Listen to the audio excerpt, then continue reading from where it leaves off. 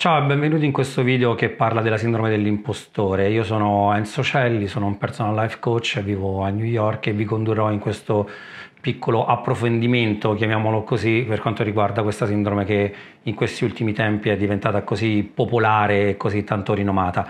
Eh, divideremo il video in due parti. In questa prima parte descriveremo che cos'è appunto la sindrome, dell'impostore, nella seconda parte tratteremo sette punti che possono aiutarci se sappiamo di essere in questo tipo di condizione e vogliamo venirne fuori.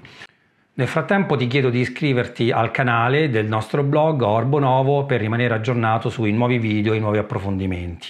Beh, ormai non si può stare proprio più tranquilli su nulla, anche quella che una volta era la virtuosa e sana umiltà, al giorno d'oggi sembra aver preso una piega che proprio non va bene. Infatti potremmo ridurre la sindrome dell'impostore ad una buona fetta di umiltà andata a male, andata in acido.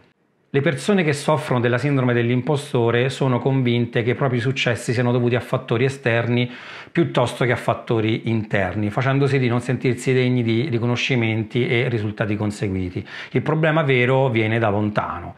Già nel 1978 Pauline Clanch identificò il fenomeno in un gruppo di donne in carriera che non si sentivano meritevoli per i prestigiosi traguardi che avevano raggiunto. In seguito è stato osservato come la sindrome dell'impostore si diffondesse non solo tra le donne ma in entrambi i sessi, prevalentemente in una fetta di popolazione colta, eh, formata ed istruita. In seguito la Clanch pubblicò la sua prima scala per misurare la sindrome dell'impostore, chiamata Clanch Impostor Phenomenon Scale.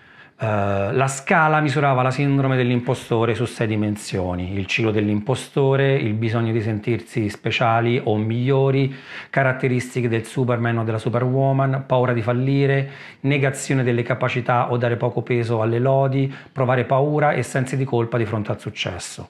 Le persone affette da questa sindrome sono convinte che i loro successi, i loro risultati formativi e lavorativi siano dovuti maggiormente a fattori esterni anziché uh, al merito. Non ritenendosi degni di riconoscimenti, ricompense né tantomeno promozioni, hanno la tendenza a pensare a se stessi come a dei cialtroni, piuttosto che a persone concrete, in gamba, magari di successo.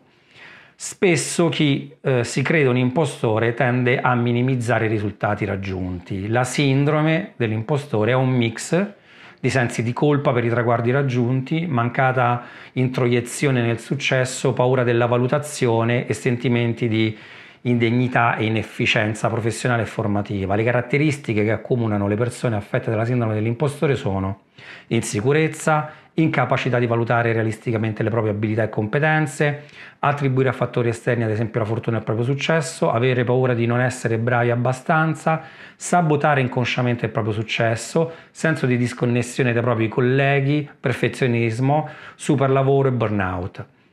Darsi standard talmente alti che non possono essere raggiunti, bassa autostima, forte paura di fallire, bassa fiducia in se stessi. Tutto ciò fa sì che le persone affette dalla sindrome dell'impostore attuino un'enorme pressione su se stesse nel tentativo di impedire che la realtà e l'incapacità venga smascherata e che quindi non venga scoperto il grande bluff. Tutto ciò facilita estremamente il venir fuori di tendenze di ipercontrollo e perfezionismo maniacale. Queste dinamiche non fanno altro che creare un circolo vizioso per cui il soggetto, non sentendosi meritevole dei riconoscimenti professionali, aumenterà il controllo e il perfezionismo maniacale sul suo lavoro e questo nell'intento di non essere smascherato. Però tutto ciò comporta un auto-innalzamento degli standard da raggiungere alla ricerca di obiettivi irrealistici e irraggiungibili. Nel tentativo prolungato di raggiungere questi obiettivi deviati, il soggetto produrrà uno sforzo irreale che lo porterà a provare ansia, frustrazione, alimentando conseguentemente la sensazione di non essere meritevoli. Uh, durante la pandemia è stato misurato un aumento dei casi della sindrome dell'impostore, infatti l'isolamento provocato dal lavoro a casa con il conseguente senso di solitudine che ne è derivato ha fatto sì che il 47% dei knowledge worker ha affermato di avere provato un aumento nelle sensazioni relative alla sindrome dell'impostore.